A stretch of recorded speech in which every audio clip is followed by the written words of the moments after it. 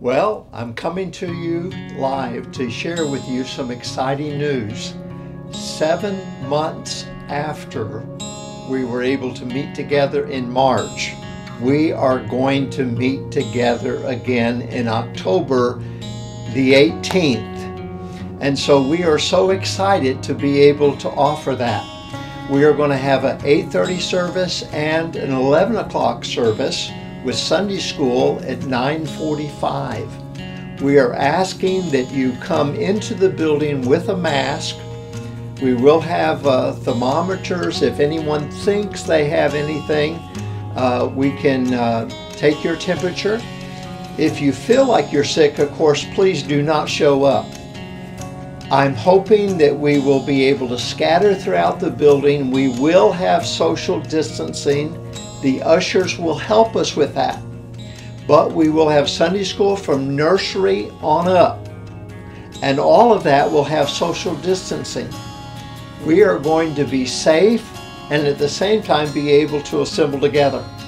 Now, we won't be able to have our congregational singing as normal. We'll have special singing on the stage and they'll be like 25 feet away from the first people on the rows.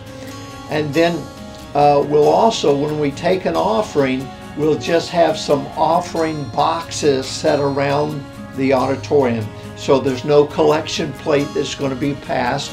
We'll ask that the majority of our people still continue to give online rather than even to give in person. Uh, it's going to have some drawbacks but at the same time, uh, we're getting together as a church. Now, I've been hearing that other churches throughout our area are doing that, and so we're going to join in with that as well.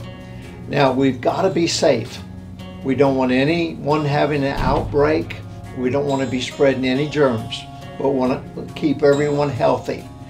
We are excited about doing that October the 18th, 8:30 and 11 o'clock.